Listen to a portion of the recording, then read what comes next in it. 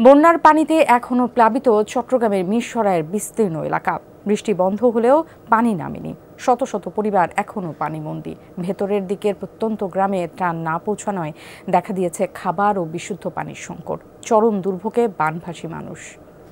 সর্বাধুনিক প্রযুক্তি ও সেরা মানের উপাদানে তৈরি আনফেল চেয়ার, ক্ষমতার নয়, সমতার চেয়ার। চট্টগ্রামের মিরসরাই উপজেলার জোরারগঞ্জের চিত্র এটি যেখানে বিস্তীর্ণ এলাকা এখনও প্লাবিত। চার দিন ধরে তেমন বৃষ্টি নেই তারপরও নামেনি পানি। ডুবে আছে ঘরবাড়ি পুকুর ফসলি জমি সড়ক। স্থানীয়দের ঘরের সব আসবাবপত্র নষ্ট চার দিন ধরে জ্বলছে না চুলা নেই বিদ্যুৎ। দেখা দিয়েছে খাদ্য ও বিশুদ্ধ পানির সংকট। কাইলেতে এই জন্তি এই জন্তি। এখন কমতে কমতে এই জন্তি আছে আমাদের গ্যাস শেষ হয়ে গেছে। মোটামুটি ভাবে আমাদের গ্যাসের অভাবে খানা পিনা চলছে না। আর তো কষ্টের কোনো সীমা নাই গড়ে দুয়ারে পানি সব জায়গায় পানি। বন্যার পানিতে ফেসে গেছে ফসল, মাছের ঘের খাবারের গরু, ছাগল, মুরগি। তলিয়ে গেছে শিক্ষার প্রতিষ্ঠান এবং মসজিদ। স্মরণকালের ভয়াবহ বন্যায় নিঃস্ব অনেকে।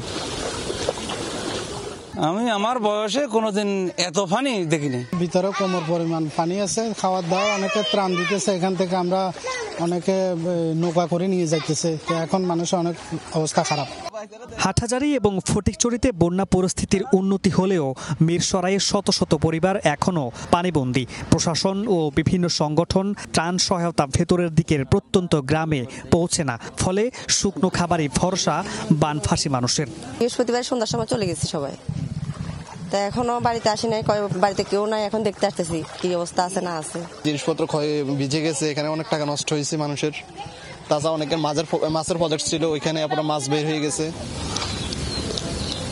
আমি এখন যে জায়গাটিতে দাঁড়িয়ে আছি একদিন আগেও এখানে তিন থেকে চার ফুট পানি ছিল। বন্যার পানি বেশি ওঠার কারণে এখানকার অধিকাংশ পরিবারগুলো জীবনের মায়ায় ঠাঁই নিয়েছেন নিকটস্থ আশ্রয়কেন্দ্রগুলোতে। এখন শুধু অপেক্ষা, পানি নামার। এরপর তারা আবারও ফিরবেন তাদের আপন ঠিকানায়। মামুন রশিদ অফি যমুনা নিউজ, মিরসরাই, চট্টগ্রাম।